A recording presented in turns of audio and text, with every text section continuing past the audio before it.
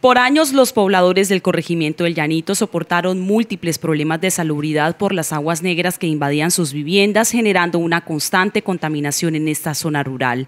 Todo parece indicar que el panorama ya será diferente gracias a la ejecución de las obras de adecuación que se realizan en tres mini petars, las cuales reducirán los niveles de contaminación. Hoy nos encontramos en el sector del típico, el corregimiento del llanito, ya tiene un porcentaje de avance de más del 95%, ya faltan son obras menores que tienen que ver con el cerramiento.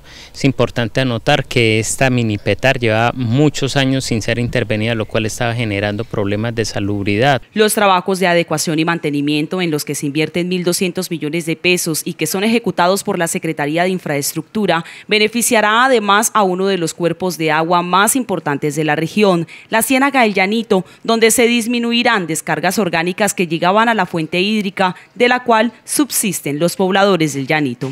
Ahora, de ahora en adelante con las obras pues eh, se va a hacer mantenimiento cada dos, tres meses y entonces vamos a tener un mejor funcionamiento de las, de las mismas. Y obviamente pues ya se ha mejorado un 80 o 100% la, las actividades pues han sido muy, muy beneficiosa para la comunidad. Las obras en las tres plantas de tratamiento de aguas residuales fueron inspeccionadas por la Secretaría de Infraestructura, la comunidad y el propio interventor de las mismas. La basura, la hoja y, y desechos de eh, basura que la gente, la comunidad pues eh, irresponsablemente tirábamos ahí y eso se taponaba y obviamente que había represamiento. Y... Otros corregimientos como San Rafael de Chucurí y el centro serán beneficiarios de proyectos de adecuación y mantenimiento de mini petares.